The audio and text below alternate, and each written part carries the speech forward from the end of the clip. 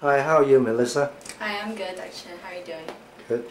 Can you tell us uh, what procedure did you go through six months ago? Uh, six months ago, I had my four wisdom teeth pulled out by Dr. Suen Yu. Okay.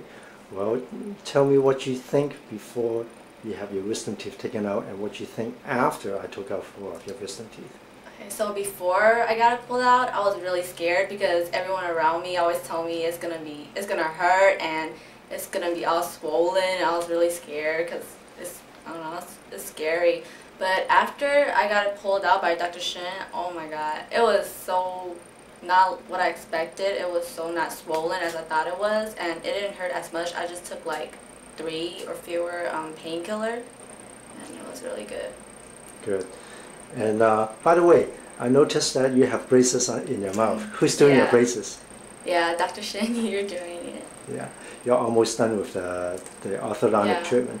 Are you happy with the braces? Yeah, I'm so happy. I can't wait so it's off. Good. And will you recommend uh, other people to have braces and uh, wisdom teeth done by Dr. Suen? Yes, wisdom teeth. Oh my god, I will. I tell people like when they ask me, like they can't even tell that I pulled it out. So I'm like, oh, you should go where I go. It's Dr. Suen, and my braces. I'm so happy with it. Um, thank you very much, Melissa. Thank you for the time. Thank you.